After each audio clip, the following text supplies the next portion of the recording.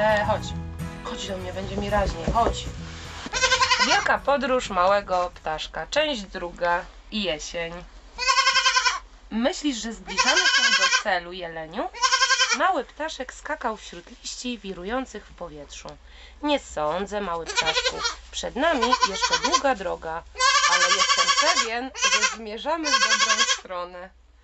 Jupi! zawołał mały ptaszek.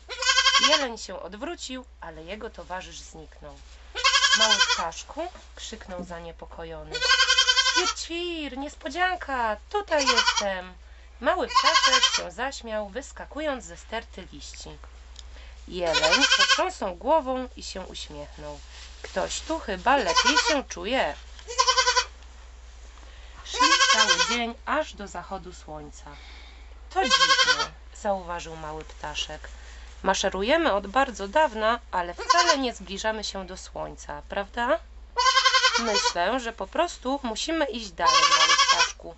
Ułożyłem piosenkę, żeby milej nam się wędrowało, zawołał mały ptaszek. Ćwir, ćwir, tralala. Jeleń z ptaszkiem idą w dal. W stronę słońca, dzień za dniem, dobrze przy tym bawią się. Ćwir, ćwir, tralala, jeleń z ptaszkiem idą w dal. Wkrótce znaleźli schronienie i ułożyli się do snu. Dobranoc, jeleniu. Dobranoc, mały ptaszku. Jeleniu. Tak, mały ptaszku. Nie lubię ciemności.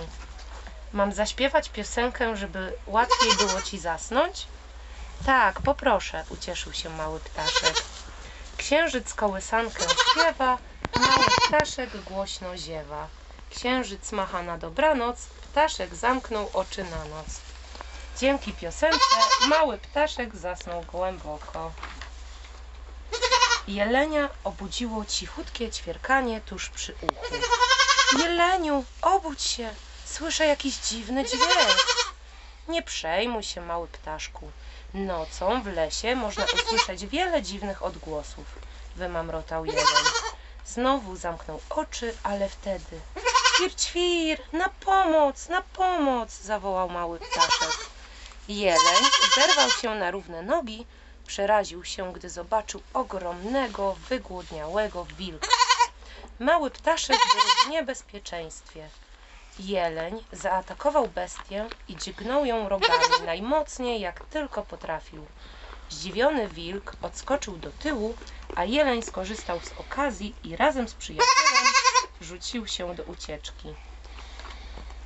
Pędzili przez las, mały ptaszek trzymał się kurczowo poroża jelenia, wilk był tuż za nim.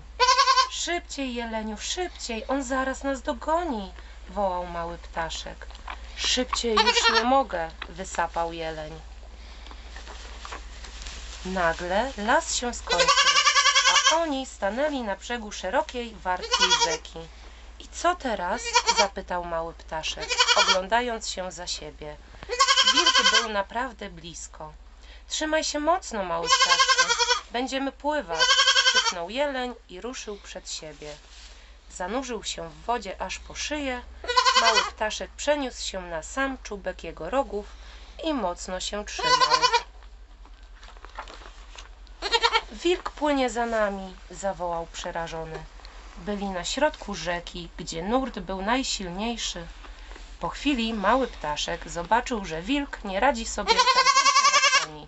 Płyń dalej, jeleniu, prąd znosi go rzeki, pisnął mały ptaszek. I rzeczywiście, jeleń bezpiecznie dotarł do przeciwległego brzegu, tymczasem wilk zniknął w oddali porwany przez nurt. Ćwir, ćwir, niewiele brakowało, zaśpiewał mały ptaszek. Rzeczywiście, wydyszał jeleń. Jestem bardzo zmęczony. Poszukajmy kryjówki i odpocznijmy. Wkrótce znaleźli odpowiednie miejsce do wypoczynku. Jeśli chcesz, zaśpiewam ci jedną z moich piosenek, jeleniu, zaćwierkał mały ptaszek. Jeleniu? Ale jeleń już twardo spał. Koniec. Do zobaczenia w następnym odcinku. Bruno.